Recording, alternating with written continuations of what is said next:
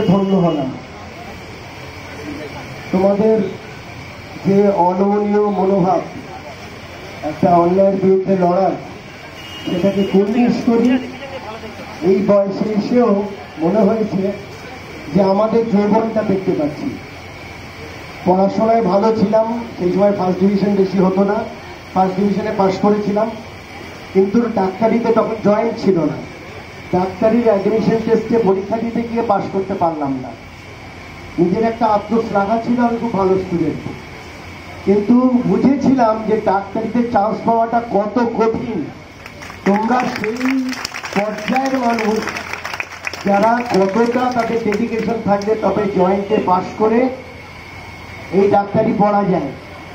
এবং যে সমস্ত ছেলেমেয়েরা দিবা রাত্রি পরিশ্রম করে আমরা জানি আমরা পেশেন্ট নিয়ে আসি। যখন আমরা নিয়ে আসি তখন এই তোমাদের মতো ছোট ছোট ছেলেমেয়েরাই এগিয়ে এসে কিন্তু চিকিৎসাটা করে।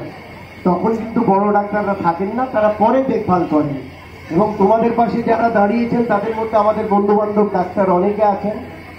তোমরা আমাদেরই বাড়ির ছেলে মেয়ে আমি শুধু একটা কথা বলব, ডাক্তারি প্রফেশনটা বড্ড শক্ত প্রফেশন এবং সবচেয়ে সম্মানীয় প্রফেশন পৃথিবীতে।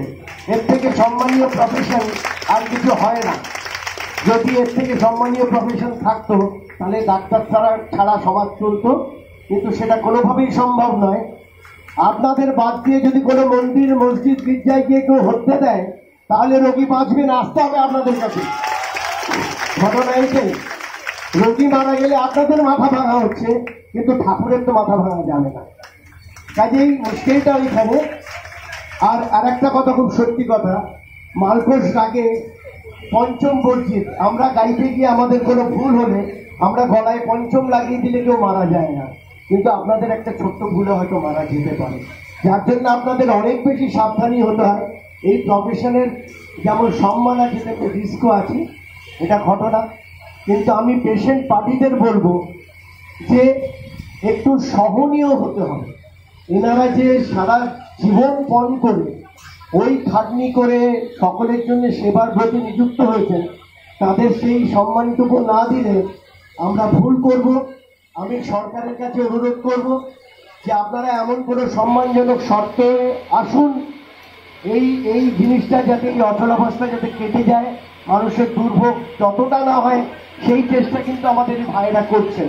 সেটা কিন্তু সব জায়গায় দেখানো হচ্ছে না। দুর্ভোগ যতটা না হয়, সেই চেষ্টা কিন্তু আমাদের ভাইরা করছেন। সেটা কিন্তু সব জায়গায় দেখানো হচ্ছে না। দুঃখের সঙ্গে বলছি। এটা আমরা আমরা খবর নিয়ে দেখছি যে নানা রকম ভাবে অন্যরকম কিছু কথা বলার চেষ্টা হচ্ছে।